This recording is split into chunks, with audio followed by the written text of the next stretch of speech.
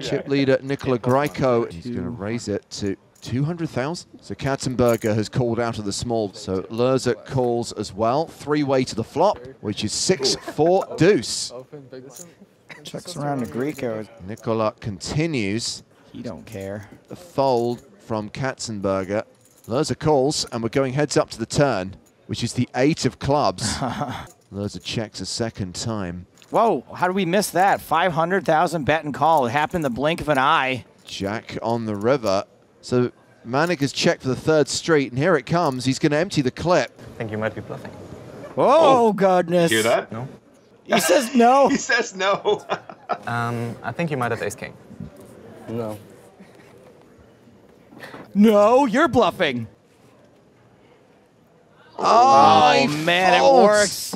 His instincts were right. And he shows it. Wow. Zero.